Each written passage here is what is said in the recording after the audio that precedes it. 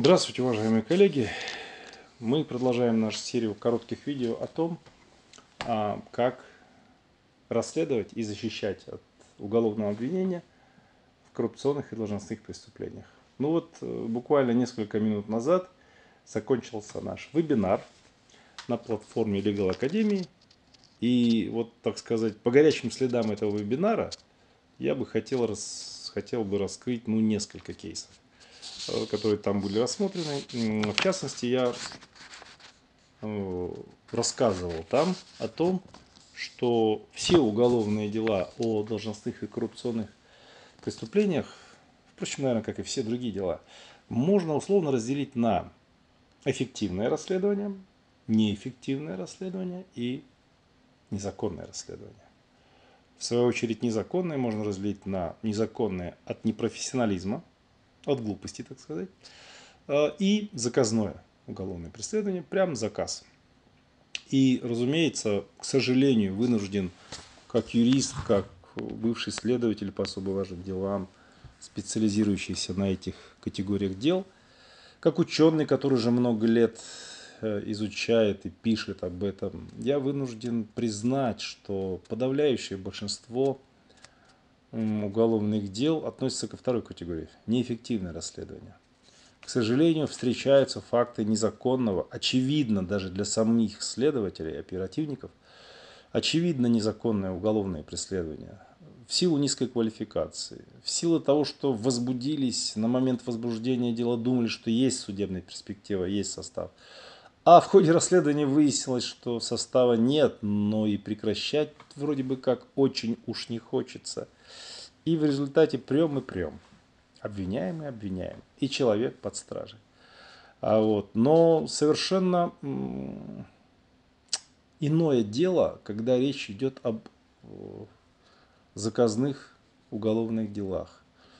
И такие уголовные дела есть, и, к сожалению, прогноз, научный прогноз, дай бог ошибочный, он негативный. Таких дел в ближайшем будущем будет больше.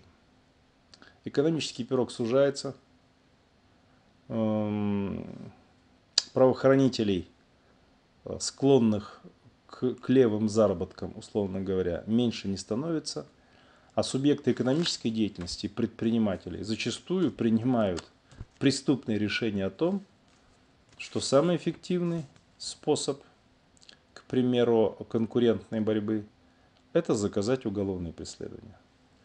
Ну и правоохранители зачастую хотят заработать. И вот одно из таких уголовных дел сотрудник компании по оказанию юридических услуг, то есть наш коллега-юрист, получил информацию о проводимых проверках в связи с возможными налоговыми нарушениями со стороны одной из коммерческих организаций.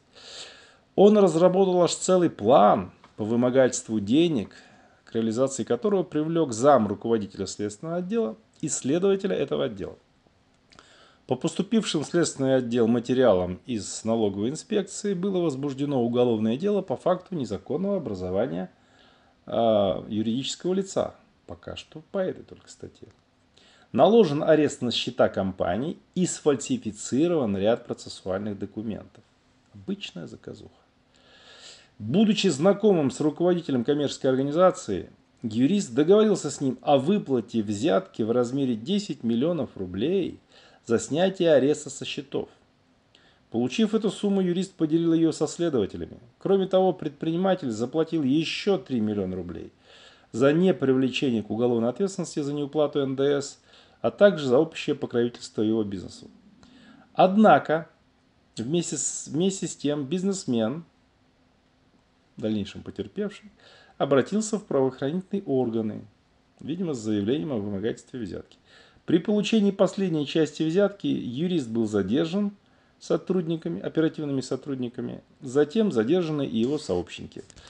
В результате суд приговорил юриста к 10 годам лишения свободы за посредничество в особо крупном и за использование заведомо подложного документа. Заместителя руководителя следственного отдела к 8,5 годам лишения – за получение взятки в особо крупном 290 часть 6 и злоупотребление должностными полномочиями. Два состава вменили.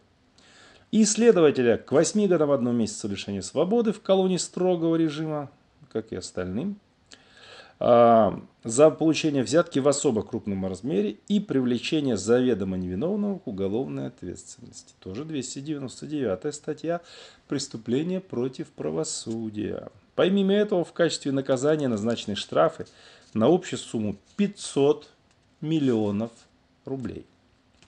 Что, коллеги, я хотел сказать этим примером? А, вот на вебинаре я сказал и буду говорить на будущем онлайн-курсе о том, что по э, делам адвокат, в частности, должен диагностировать всякое уголовное преследование, какое оно, эффективное, неэффективное, либо незаконное. Если уголовное преследование незаконное, то у адвоката два направления работы. Первое направление – это, собственно, защита от обвинения по уголовному делу. А второе – это нападение. На мой взгляд, в большинстве ситуаций нужно нападать, то есть а, выявлять признаки коррупции, заказного уголовного преследования в деятельности и исследователей, и заказчиков, если они есть. Иногда, как вот в этом примере, они соучастники. Очень плохо, когда адвокат концентрируется только на защите и, как говорится, оставляет в покое заказчиков и оборотней в погонах.